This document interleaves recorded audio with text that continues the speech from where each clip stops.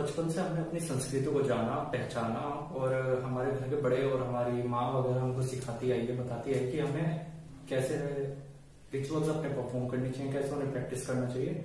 और यही सबको फॉलो करते करते हमने जाना नौ स्वरूप के बारे में, माँ देवी के, जो इस तरह से है। पहला शैलपुत्री, दूसरी ब्रह्मचारिणी, तीसरी चंद्रघंटा, चौथी पुष्पांडा, पांचवी स्कंद माता, छठी कात्यायनी, सातवीं कालरात्रि, आठवीं महागौरी, नौवीं सिद्धिदात्री।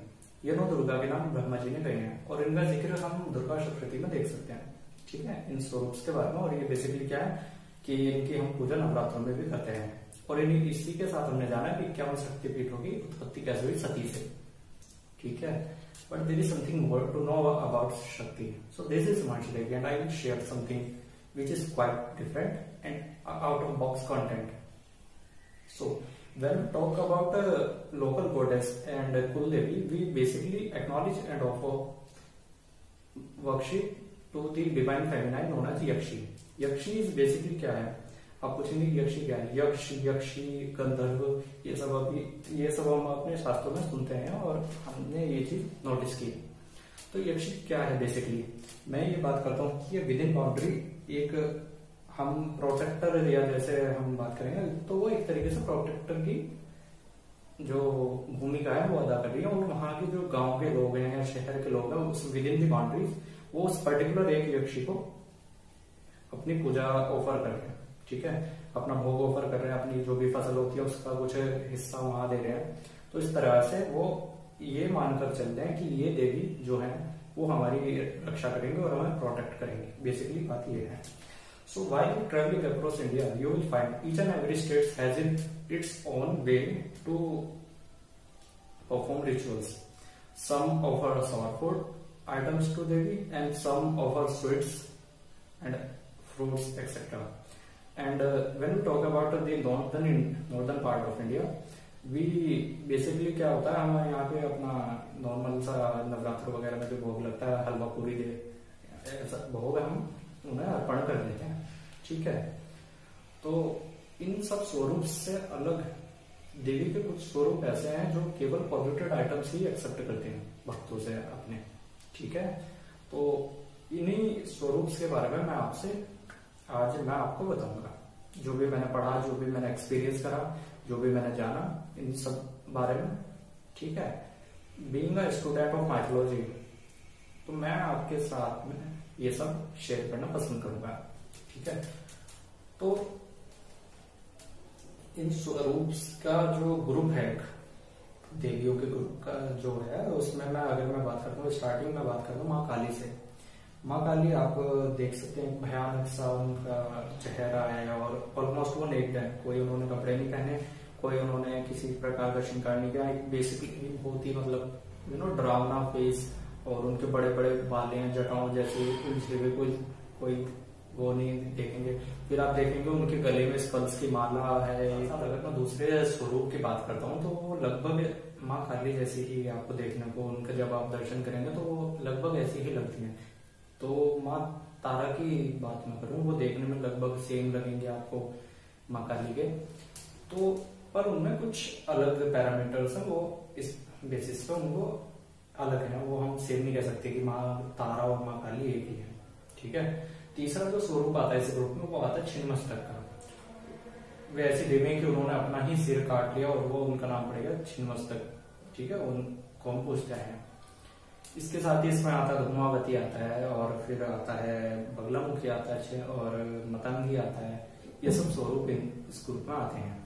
ठीक है? तो अभी जैसे मैंने बोला था कि ये सभी जो स्वरूप हैं, ये सब जो ग्रुप हैं, ये पॉल्यूटेड आइटम्स ही एक्सेप्ट करते हैं, ठीक है? पॉल्यूटेड आइटम्स का मेरे पॉल्यूटेड आइटम्स से मेरा मतलब है कि एक ऐसे आइटम्स जो हिंदू परंपरा में थोड़े मतलब बेकार माने गए हैं या फिर क्या कह सकते हैं उनको? मतलब कुछ ऐसी अपवित्र माने गए हैं, ये सब मैं कह सकता हूँ। ठीक है? पोल्यूटेड आइटम्स से मेरा मतलब है कि बलि देना, मांस देना, मांस चढ़ाना, खून इवन सीमन भी इस चीज़ में आता आप आश्चर्य करेंगे, पर सीमन भी इसी कैटेगरी में आता ठीक है? जो इनको ऑफ़र किया जाता है। तो ये सब जो करते हैं, ये बेसिकली क्या? तांत्रिक विजन्स को मद्देनजर रखते हुए सब करते हैं। तांत्रिक जो मैं बात करूँ, तंत्र विद्या जो होती है अगर मैं बात करूँ, सबसे ज़्यादा इंडिया में तंत्र विद्या क्या होती है? कहाँ होती है? तो आपके सबसे पहले दिमाग में आएगा वेस्ट बंगाल बट नहीं। वेस्ट बंगाल के कुछ हिस्सों में मैं ये मान सकता हूँ कि हाँ ये सब ज़्यादा चाल चलन है पर उसके साथ साथ आप देखेंगे कि केरल में भी ये सब प्रैक्टिस हो है, ये सब चीज़ें। उसी के साथ असम के साइड या नॉर्थ ईस्ट में भी ये सब चीज़ें प्रैक्टिस की जा रही है, ठीक है? ऐसा नहीं है, बस खाली वेस्ट बंगाल में। हाँ मैं ये कह सकता हूँ कि यू नो देवी पूजा या वो सब वहाँ पर ज़्यादा चाल चलन है उस चीज़ का तो इसलिए हमने एक थॉट बना लिया कि ज़्यादातर काला काला मैजिक या ब्लैक मैजिक वगैरह जो भी होता है, ये सब वेस्ट बंगाल में ज़्यादा होता है। अब क्या है? बेसिकली जो इन स्वरूप है, ये स्वरूप है, ये ग्रुप है, इसके बारे में जानेंगे कैसे? ठीक है? कैसे इनकी हम पूजा करनी चाहिए? कैसे हम, क्या हम बेसिकली कोई नॉर्मल आदमी इनकी पूजा कर सकता है या एक you know without any guidance मैं अगर कहूँ तो इन सबकी पूजा आपको नहीं करनी चाहिए, ठीक है? विदाउट एनी गाइडेंस आपको हर, इस चीज़ में, क्योंकि ये थोड़ा एक अलग कॉन्सेप्ट है। इसमें आप जो देखेंगे, एक practitioner practice practitioner is basically क्या है? साधक है, ठीक है? साधक है और उसने अपने गुरु गुरु शिष्य परंपरा के अनुसार उसने ये सब सीखा, जाना, मंत्र, इनके बीज मंत्र जो है, इनके मेन मंत्र जो है, ये सब जाना। तो उसके लिए एक, ठीक है कि वो इस चीज़ को प्रैक्टिस करता आ रहा है, पर अगर आप कहीं से भी सुन सुना के या फिर जान के आप कोई भी ऐसे इन स्वरूप को पूजना शुरू करते हैं, जो भी करते हैं तो ये मैं प्रिफर करूँगा कि आप ये ना करें। तो जब हम देखेंगे, हम ये देखते हैं कि शिव जी के उपासक कोई भी हो सकता है, ठीक है? अघोरीज को छोड़ के उनका क्योंकि एक अलग एजेंडा उनका कि उनको कैसे अपनी, वो एक दुनिया से खुद को अलग समझते हैं। जो हमें लगेगा कि वो हमारे लिए शुभ है, अशुभ है अच्छा है, बुरा, वो ये सब भेदभाव नहीं करते। वो बेसिकली क्या है? अघोरी क्या है? इन सब चीज़ों के बीच में जो हमने एक डिस्टेंस क्रिएट किया है ठीक है? जो हमने गैप क्रिएट किया, वो इस चीज़ को खत्म करना चाह रहे हैं। ठीक है, अपनी साधना से अपनी भक्ति से।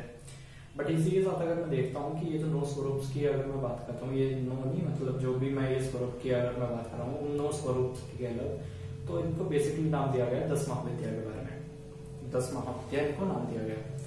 तो दस महाविद्या का जो कॉन्सेप्ट है, ये कोई नया नहीं है। ठीक है एंशियंट मिडिवल टाइम में भी और हिस्ट्री में देखें तो कंटेम्प्रेरी लिथोग्राफ्स में इनका आपको पेंटिंग देखने को मिलेंगे इमेजेस देखने को मिलेंगे। कंटेम्प्रेरी लिथोग्राफी क्या है? बेसिकली कंटेम्प्रेरी लिथोग्राफ वो है जो पुराने टाइम पे जब पेजेस नहीं थे या ये सब फैसिलिटीज़ नहीं थी तो वो क्या था? केव में जाके या जो भी है, एक स्टोन पे जाके मतलब वो किसी केमिकल रिएक्शन वगैरह से कल कलर्स बना के वो उस तरह से पेंटिंग किया करते थे। तो उसमें दस महाविद्याओं का हम देख सकते हैं इमेजेस वगैरह हमें देखने को मिलती है। ठीक है? तो ये दस महाविद्यालय हैं। इनके बारे में मैं आगे की वीडियोस में एक एक करके आपसे बात करूँगा।